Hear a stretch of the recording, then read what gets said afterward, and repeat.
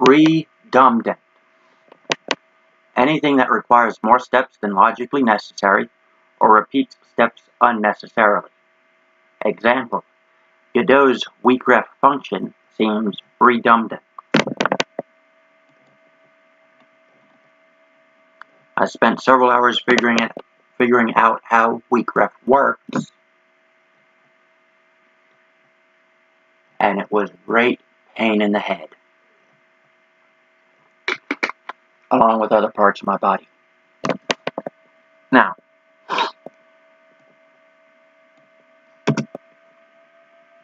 I've got thing 1, thing 2, and thing 3 variables.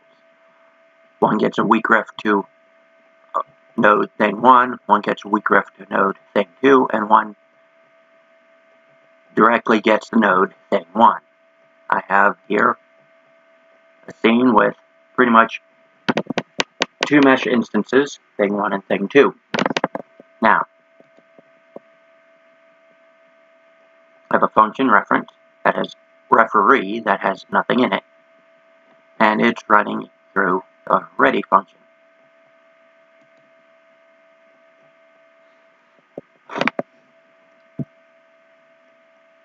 So, if we were to do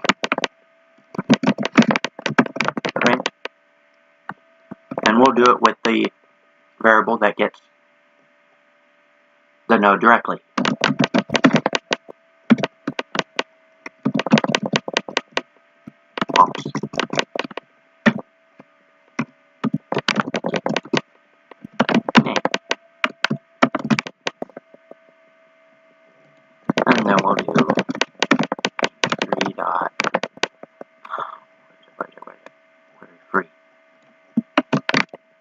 I do tend to comment out some code and keep it around if to be useful. So referee is running in the ready function. But let's do something really interesting. We're going to queue free, get rid of the node, and then print its name. Show of hands, how many of you think that this will crash the game? Good. And how many of you think that we won't get an error? Also good. And we play and, huh. Now, since there's no camera or lights, you're not seeing anything, but we don't get an error. The reason for that is any object queue freed or removed from a scene is removed on the next frame. So we're removing the object, but it's still there. We've got a Schrodinger's zombie node.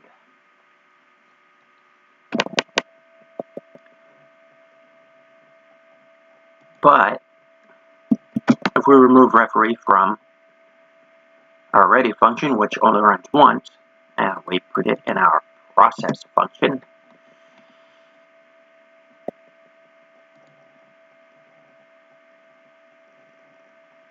well, we get an error. Attempt to call function queue free and base previously freed instance on a null instance because we've removed it. We've printed its name.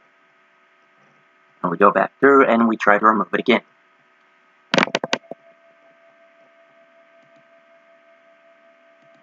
Now, if we do thing one dot get removing it or anything just yet, and we play, we get an error. Non-existent function get name in base weak ref. Because we have to use dot get ref.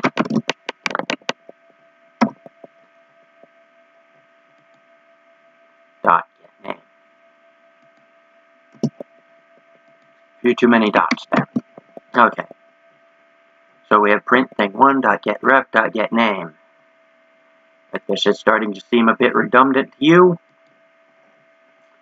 guess how it seems to me. But we've got that. Okay, so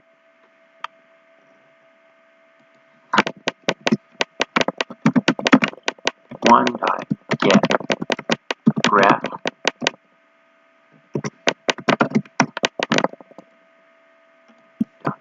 free. Since we're since the weak ref is supposed to keep us from throwing errors when an object doesn't exist, how many of you think that this is going to, ironically, throw an error? Or two or three? Yep, it does. Not existent function, queue free, and base nil. Because there's nothing in the reference. Now, what we have to do is if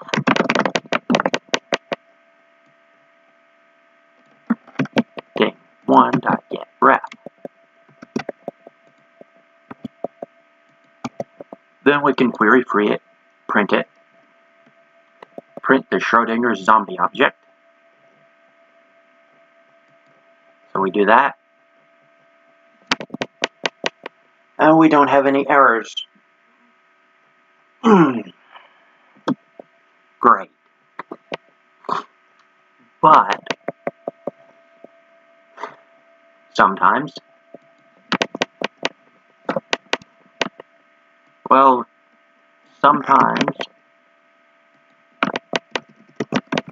you get a weak reference and well you have to add or point at a node later on in the level. Like commanding a character to attack another character.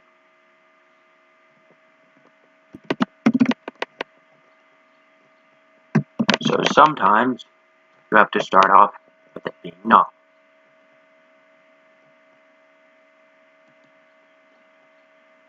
Now we used if thing one dot get reference.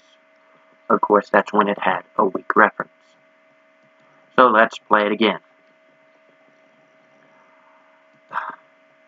And we get an error because, well, we don't have a reference.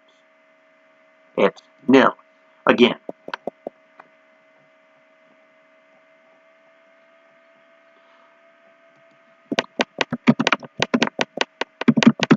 Let's try something. I'm curious about something. Let's get a weak ref to null. Oh, good grief, I'd better save this. It might crash my computer. Oh boy, and we still get an error. Cannot convert argument 1 from nil to object.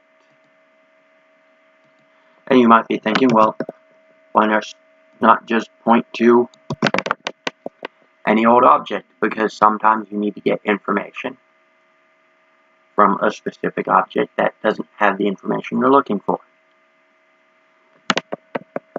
Sometimes you just have to start off with an empty variable. So, what we need to do is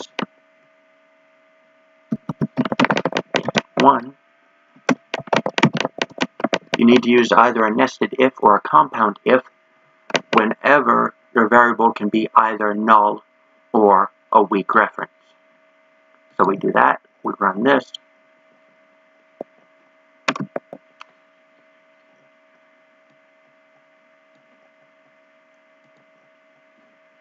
this only prints thing one, once,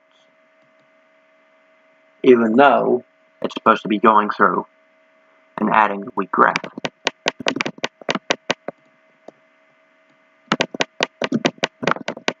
So let's try this. And the ORs don't work. Also, I think you have to use the variable first, and then the variable.get reference in your compound if statement. So variable first, and then you get the references in the second if. And that should avoid a whole bunch of crashing. Now, thing 3 gets directly to the node. Because sometimes you don't want to do thing one dot get ref dot queue free. So we'll do thing three and thing three. Thing thing 1 will have a weak ref once we run through this once.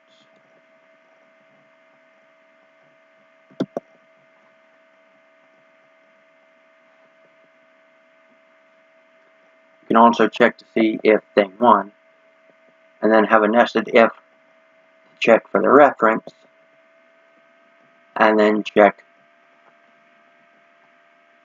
to see if there is no reference. Because if you have a weak ref and the object no longer exists, you can still get the reference to it in the if statement, but you can't do anything with it without crashing the game. So it is kind of confusing just to avoid a whole lot of problems.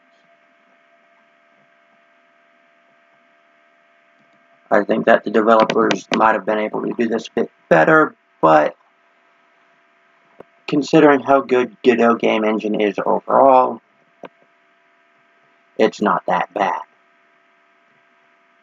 But you still have to use either get reference or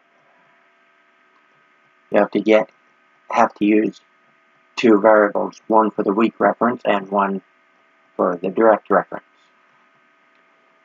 And you have to use a compound or nested if statement if at any point your variable doesn't have anything in it. So that's pretty much it for weak reference. Hopefully I've saved you a lot of time and, and headache by making this tutorial.